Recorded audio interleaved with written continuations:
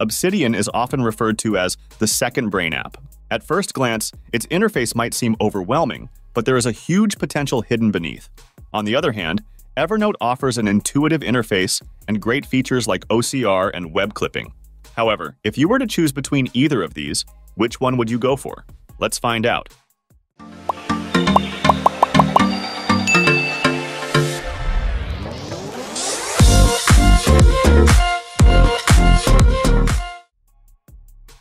When it comes to the interface, Evernote's design is straightforward, which makes it easy to jump in and start taking notes. It uses a familiar notebook and tag system, which makes it simple to organize your information. The user interface is intuitive, with everything from creating new notes to managing tasks laid out clearly. The left sidebar gives you quick access to your notebooks, tags, and recent notes, and makes it ideal for those who like structured and organized setups. For beginners or those who prefer a no-fuss environment, Evernote feels comfortable and familiar. It's also visually engaging, with options to customize your home dashboard to prioritize tasks or highlight your most important notes.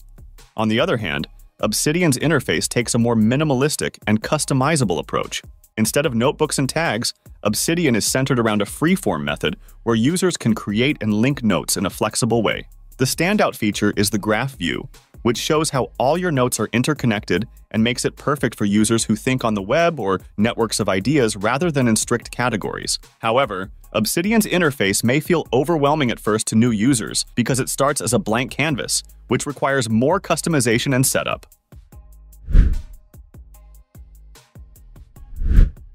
Evernote offers a rich text editor that's easy to use and highly functional. You can create notes with different formatting options like bold, italics, checkboxes, tables, and more. It's a very familiar experience, similar to using a word processor like Microsoft Word.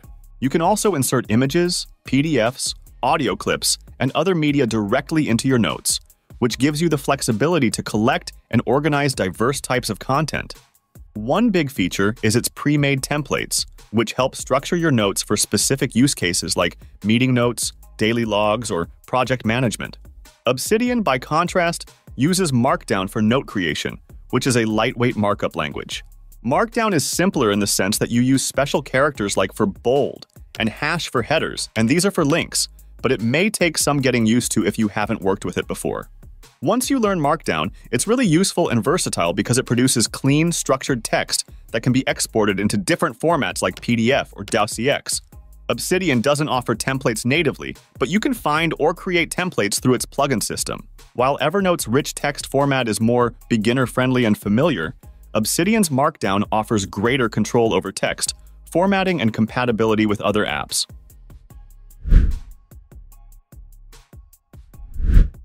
When it comes to organizing your notes, Evernote provides a notebook and tag system. You can create multiple notebooks and tag notes with keywords, which makes searching and categorizing notes quick and easy. You can also create stacks to group related notebooks together, which is particularly helpful for larger projects or when managing multiple areas of your life or work. Obsidian, on the other hand, doesn't rely on notebooks in the traditional sense. Instead, you organize your notes in a file-based system where each note is a separate markdown file. Obsidian's strength lies in its bidirectional linking and graph view. With bidirectional links, you can create relationships between notes by linking them together, which gives you a dynamic, interconnected system of notes. The graph view is a visual map of all your notes and how they link to one another, which shows the relationships between your ideas. This kind of non-linear note-taking and organization is especially useful for knowledge management, research, or project development. In the long run, Evernote is better suited for users who prefer a traditional, hierarchical organization system with notebooks and tags, while Obsidian excels for users who want more freedom and flexibility in how they organize and link their notes.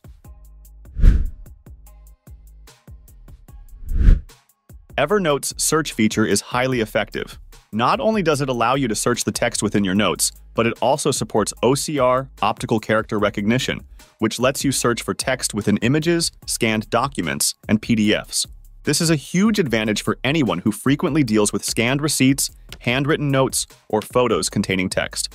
Evernote also has advanced search capabilities, which allow you to search by tags, dates, and other metadata. This makes finding specific information across your notebooks fast and efficient. Obsidian, while offering great search functionality, does not have native OCR capabilities. Its search is focused on text based searches, so it's excellent for finding specific words or phrases within your notes. But if you need to search through images or PDFs, you'd need a third party plugin or a separate tool.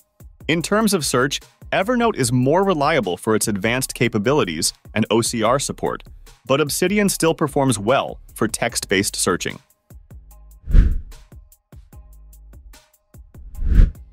Obsidian thrives in the areas of customization and extensibility. It has a plugin system that allows users to install and use hundreds of community-developed plugins. These plugins can add features like task management, calendars, advanced formatting options, integrations with other apps, and more. Some users even develop their own plugins to suit their specific needs. This makes Obsidian highly adaptable to different workflows, and the possibilities for customization are virtually endless. Evernote doesn't have a plugin system, but it does support integrations with popular apps like Google Drive, Slack, and Microsoft Outlook. It also has its own native features like Web Clipper, which allows you to save articles, PDFs, and other web content directly into your Evernote notebooks. While Evernote's native features are solid, it doesn't offer the same level of customization that Obsidian does. If you're someone who likes to tweak and tailor your note-taking system to your exact needs, Obsidian's plugin system gives you far more flexibility. Evernote, on the other hand, is a bit more fixed in its feature set, but offers enough integrations to cover most users' needs. Evernote is better equipped for collaborative work. With Evernote, you can share notebooks or individual notes with others, and they can view or edit the content based on the permissions you set. This makes it a great tool for team projects or when you need to share information with others. It also has features like real-time syncing across devices, which ensures that all changes are reflected immediately, no matter where you access your notes from. Obsidian, however, is more focused on individual use. While you can share notes or even publish them online using Obsidian Publish, it's not designed with collaboration in mind.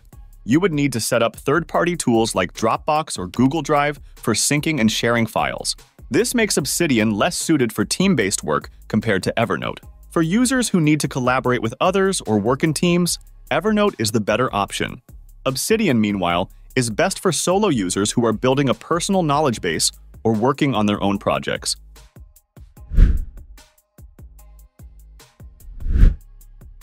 Now let's talk about pricing.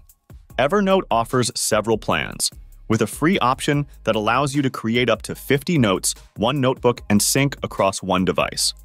The personal plan, which costs $10.83 per month annually, unlocks more storage and features, such as creating up to 150,000 notes and syncing across unlimited devices. The professional plan, priced at $14.16 per month, offers even more storage and integrations, which makes it suitable for users who need heavy-duty note-taking, organization, and task management. Obsidian, on the other hand, is free for personal use, it offers all its core features at no cost, and you only pay if you're using it for commercial purposes.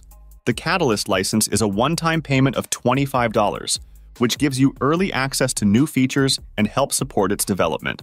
For those who want more, there are two optional paid add-ons. Obsidian Sync for $4 per month, which allows you to sync notes across devices with end-to-end -end encryption, and Obsidian Publish for $8 per month, which lets you turn your notes into a website. The pricing model for Obsidian is much more flexible and allows users to pay for only the features they need. So, which app is right for you? It really depends on what you need from a note-taking app. Evernote is ideal for users who want an all-in-one solution for capturing and organizing information. It's perfect if you prefer an organized, straightforward interface with minimal setup and need features like web clipping, reminders, and collaborative tools. On the other hand, if you're someone who values customization, likes to connect ideas, or wants to build a personal knowledge base, Obsidian is your go-to tool. Let us know which one you want to try first. Catch you guys on our next video.